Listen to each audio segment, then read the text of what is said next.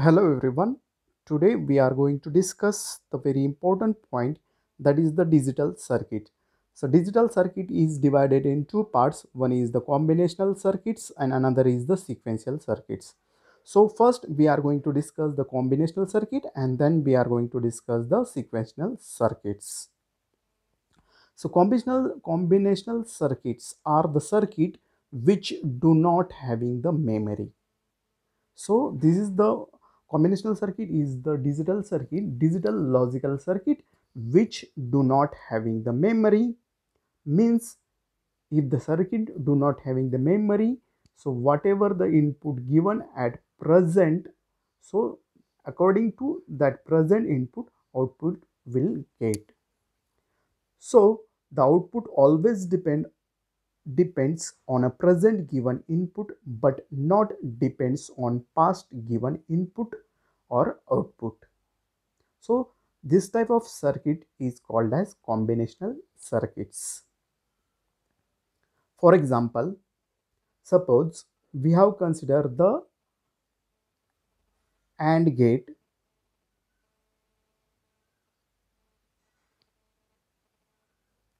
here we have given 0 here we have given 1 so we will get the output 0 similarly in next we are giving 1 1 so we will get the 1 so here we can say that the combinational circuit which do not having the memory that's why whatever the output whatever the output that is totally depends on the present given input but not uh, depend on previously or pastly given input as well as output.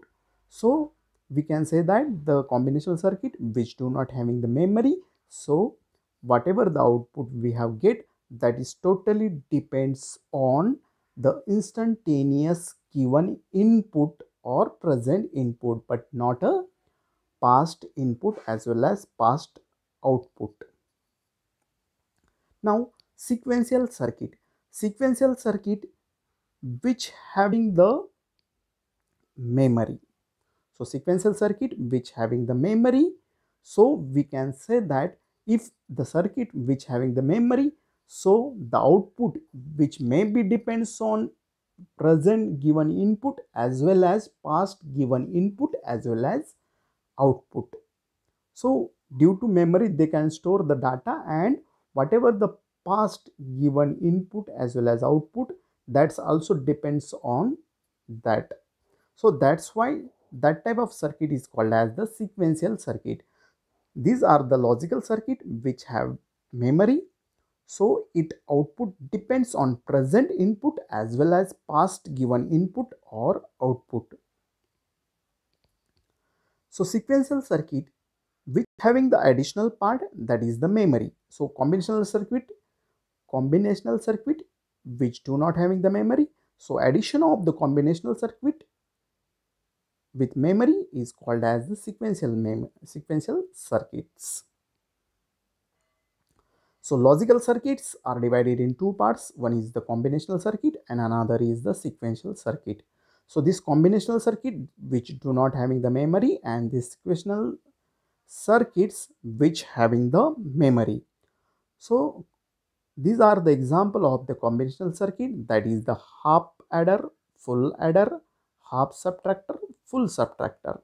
And these are the example of sequential circuit that is flip-flops, counters, registers are the example of sequential circuit.